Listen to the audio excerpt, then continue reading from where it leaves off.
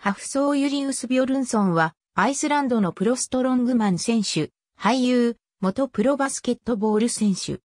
ホフサーの本来の発音は、ハフソル、または、ハフソーに近いが、日本では、ハフポルとも記されることがある。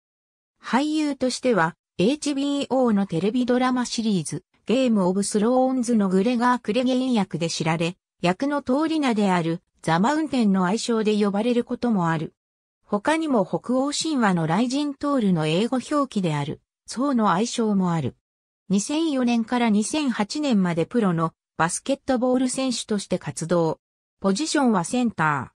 ー。20歳の時の膝の怪我をきっかけに、他のスポーツへの転向を考え始める。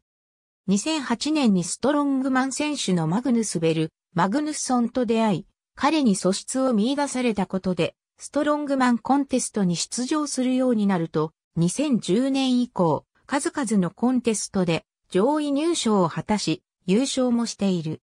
また、世界最強の男コンテストでは、2012年から3位以内を維持しており、2018年には優勝を果たしている。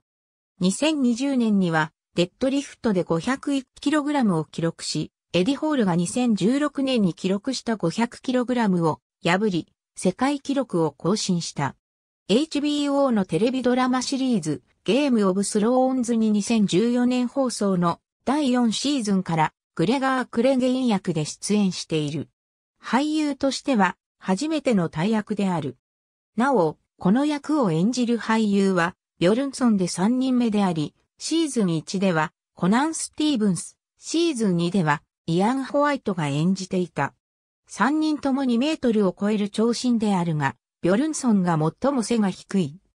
2017年には、ケイティ・ペリーがニッキー・ミナージュのフィーチャリングでリリースしたスウィッシュ・スウィッシュのミュージックビデオにバスケットボール選手役で出演している。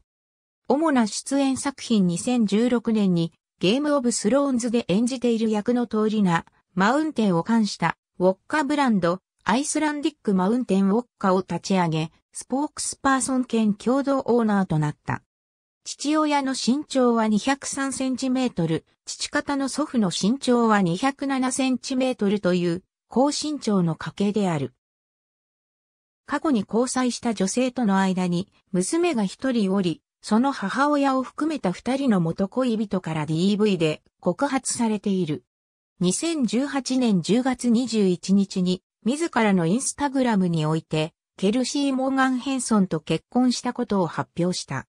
2017年に彼女がカナダのバーでウェイトレスとして働いていた時に客として訪れたビョルンソンに彼女から写真撮影を頼んだことが交際のきっかけとされている。なお、彼女は身長157センチメートルと小柄である。ありがとうございます。